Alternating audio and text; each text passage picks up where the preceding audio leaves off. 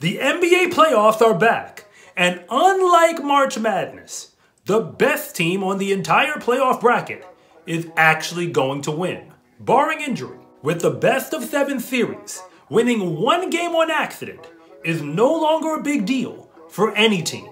And although more than half of the league makes the playoffs, two thirds if you count the play in, only a few teams actually have what it takes to win it all. Believe it or not, NBA basketball is so predictable that we might as well be watching a Fast and Furious movie. So I'll give you each team that have what you need to win the Larry O'Brien trophy, and a few wild cards that could maybe make history. Because we play the game for a reason, even if we basically know how they're gonna end. To make my list as a contender, you've gotta pass two tests, because these two things have been true for every single NBA champion except one since 1980. And the only team that ever broke the rules passed the first test and technically used the loophole on the second one. First, you have to win at least 52 games in the regular season to have a legitimate chance at winning a title. The D Wade and Shaq Miami Heat team in 2006 won 52 games, and they were the worst team to win a title since 1995. And the second test, you need to have at least one NBA MVP, or at least a former finals MVP, on your team if you're actually going to win it all. No team since 1980 has actually pulled it off without one. The Detroit Pistons in 2004 are the only team to break this rule, but they had the Defensive Player of the Year and four players who were basically in their prime because they were all All Stars at some point near that championship run. And remember, many teams are good enough to win a playoff series, even if they're not able to win the whole thing. So don't shoot the messenger for keeping it 100 with you, because I'm a Knicks fan and I already know that they're on borrowed time. The Milwaukee Bucks are the best team in the NBA, and I'm not just talking about the eye test. They had the best record during the regular season, and they already won a championship two years ago. And most of the key players on that team are still major pieces of this one. It is not a fluke that the Bucks are the best team, because their front office did everything right when they built it. To create an NBA champion, you need to make highly educated guesses about the trajectory of an NBA player's career, starting with hitting the jackpot in the draft and then wheeling and dealing your way from there, which is exactly what the Bucks did. They have four international players on their team, led by the Greek freak himself. But amongst their American-born players, only Brook Lopez and Jrue Holiday were legitimately expected by high school basketball scouts to be major contributors at the NBA level. They were ranked 10th and 4th overall in their recruiting classes. And they were also followed by Bobby Portis and Grayson Allen, who were both 16th and 21st when they came out of high school. Beyond those names are players who were at one point four and three star basketball recruits. They were never expected to make it to the league.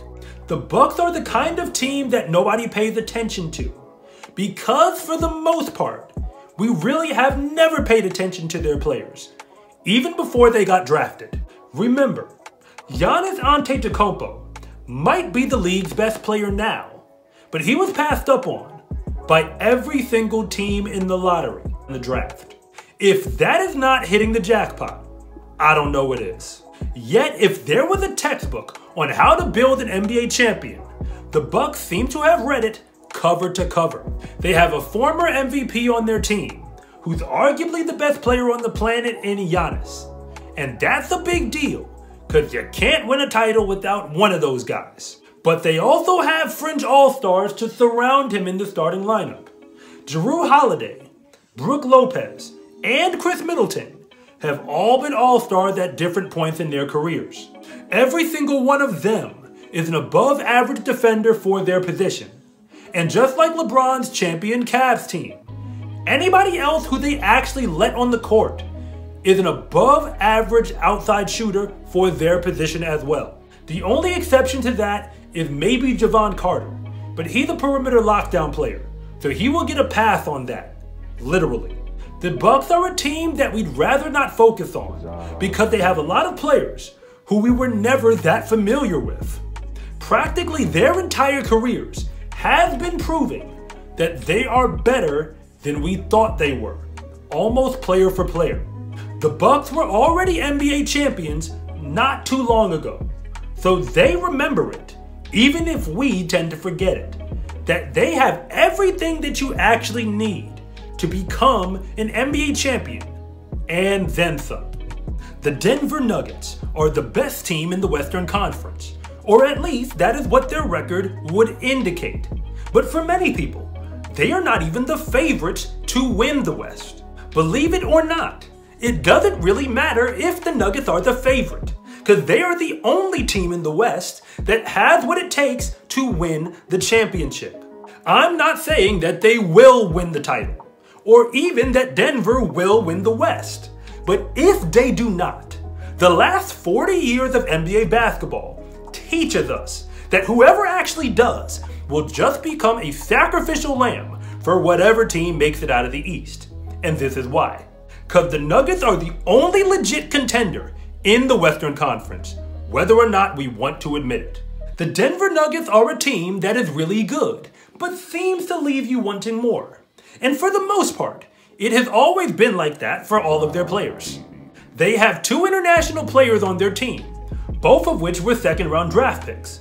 But one of them is now a two time NBA MVP. So it's safe to say nobody saw that coming. And the rest of their team is filled with players who were actually supposed to contribute in the NBA. High school basketball scouts got it right, sort of, when it comes to the Nuggets. Because players like Bruce Brown, Thomas Bryant, Kentavious Caldwell Pope, and even DeAndre Jordan were all ranked inside of the top 30 recruits when they came out of high school, which basically means they were supposed to become role players in the NBA someday. But they also have players like Jamal Murray, Aaron Gordon, and Michael Porter Jr. Their recruitment rankings were 10, 4, and 2 when they left high school. Those guys are good, but perhaps not good enough, because none of them have ever made an all star team, and they've had more than a few years in order to figure it out. Denver has good players, but they might not be as good as they need to be to actually win a title. And that is the real reason why everybody is skeptical of the Nuggets. But they play winning basketball throughout the regular season. And they have the player that you need to get them over the hump in Nikola Jokic. He's way better now than he was ever supposed to be.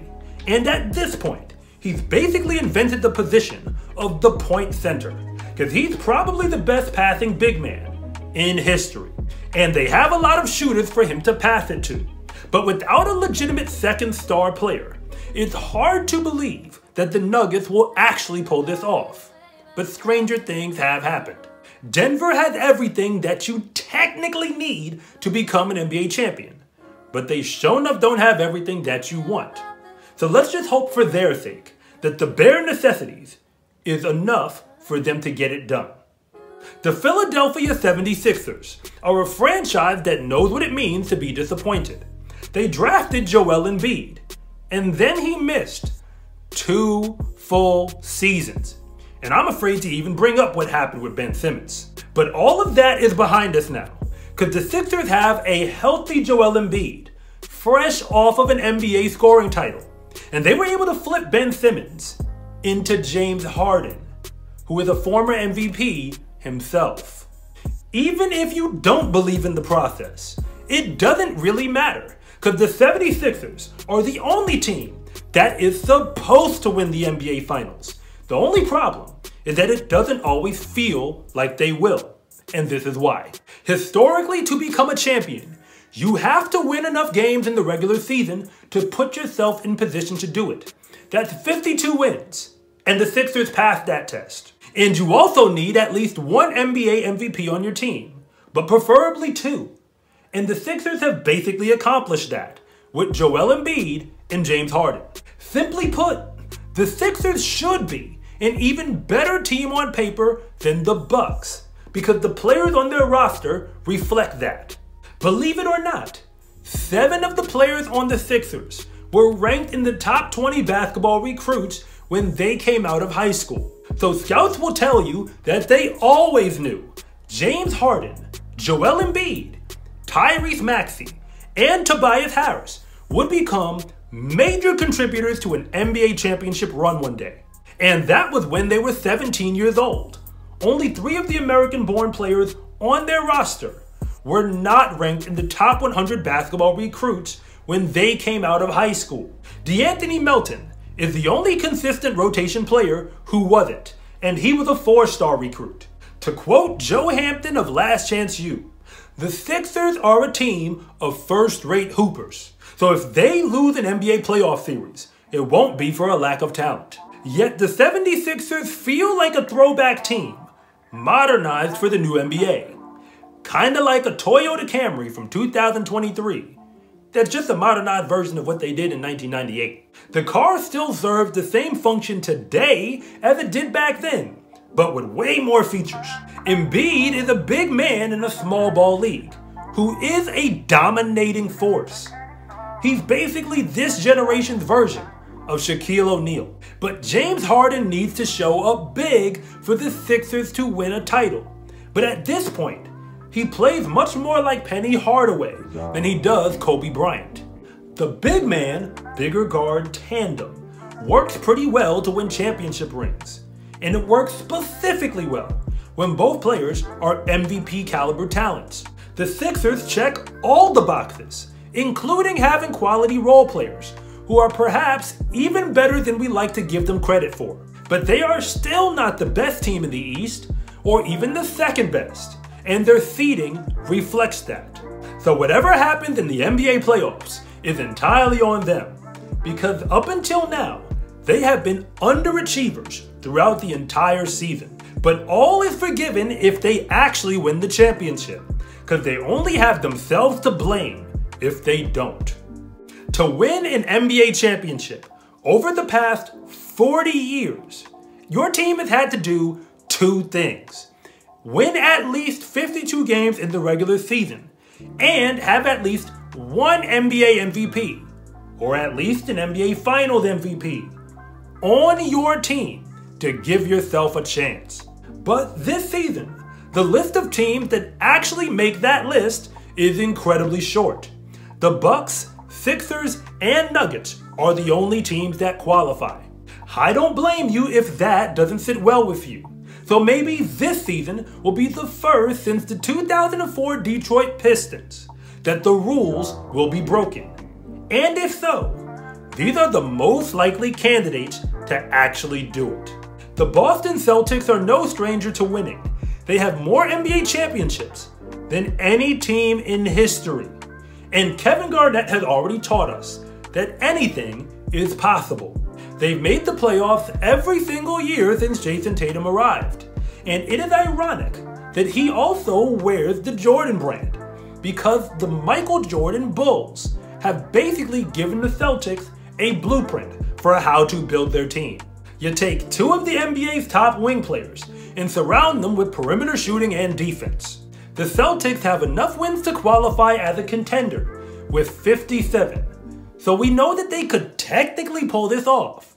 The only problem is they've never actually done it yet because they don't have an actual MVP. Jayson Tatum is as close as you can get without actually being one. And Jaylen Brown is his co-star. It's fitting that he was the third ranked recruit when he came out of high school, and Jaylen Brown was fourth. Because to this point, they've been about as good as advertised and Tatum is just a little bit better. We could talk about Marcus Smart's defense, or even Malcolm Brogdon's Sixth Man of the Year campaign, but all that really matters is that Jayson Tatum has never been an NBA MVP. And historically speaking, that is enough to mean that the Celtics probably ain't gonna win it this year. The next four teams all have the same problem. They have a former MVP or finals MVP, and some of them even have both but they haven't won enough games this season to be legit contenders. None of them have actually won more than 45, which is a far cry away from 52. The Suns, Clippers, Warriors, and Lakers all finished the season within two games of each other. They even have a player that they can count on when the going gets tough. But that probably won't matter because history is trying to tell us that their teams just won't be good enough beyond them to get the job done. If I were you, I would aim low and avoid disappointment, but root for these teams if you want to. The Phoenix Suns plus Kevin Durant haven't even played 10 games together in the regular season. And historically speaking, that won't win a championship. The Suns won't have home court advantage outside of the first round of the playoffs. And to some people, Kevin Durant is the real MVP. But that's not important if the team can't show consistency, which they haven't done all year. And if you check their bench, good luck with that. Nothing against Devin Booker or Chris Paul, but if you're betting on the Suns, you're doing it because you have blind faith in Kevin Durant, and that's about all. Kawhi Leonard has proven he can get you a title back in Toronto. But he's playing for the LA Clippers, and they don't have Paul George, and they're nowhere near as good as the Raptors were when they won the title.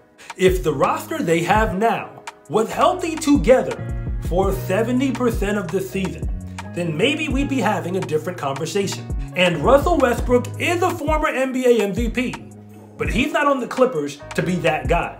He's playing for the veterans minimum. So any production you get out of him is way above the asking price. And even with Paul George, their record indicates the Clippers would be the longest of long shots. The Warriors might be defending champions, but they are not the same team they were a year ago. It could just be a slight decline in production from players like Draymond Green and Klay Thompson, but a slight decline is enough for them to fall all the way off. And the Warriors couldn't buy a win on the road this season, which is a problem considering they don't have home court advantage for the entire playoffs. Aside from key players on their roster, nothing about this Warriors team resembles the ones that won NBA championships. So the odds of the Warriors winning it all are slim to none. The Lakers have LeBron James and Anthony Davis, which is enough to give them a chance. To be clear, that is the only thing that you would be putting faith in. Because the Lakers don't do anything else that is consistent with winning a championship. Comparing this Lakers team to any of the Cavs teams that LeBron took to the finals is unfair. Because this version of LeBron is a lot older and therefore not quite as good at carrying the team on his back as he used to be. And that is no shade because that was supposed to be Anthony Davis's job. But we're not sure if he's going to be consistently in the lineup for the entirety of the playoffs. There's almost no reason to mention any of the other Lakers players by name. They haven't given us a reason to. Malik Beasley is the only other player on the team who has ever won a playoff series, unless we're counting Tristan Thompson, who signed a deal right before the playoffs, and he's the fourth string center. You can ride with King James if you want to, but the car that they gave him to drive flat out doesn't have any brakes on it. To win an NBA title, a lot of things have to go your way. And the last 40 years of NBA basketball is teaching us that only three teams are actually playing for the title. Everyone else might as well be there to make it look interesting. But Kevin Garnett just might be a prophet. Because who knows? Anything is possible. Believe what you want to believe, but history has already made it clear which teams they are betting on. I'm Coach Rob, and thank you so much for watching this video. And if you want to see more content like this, then please like and subscribe.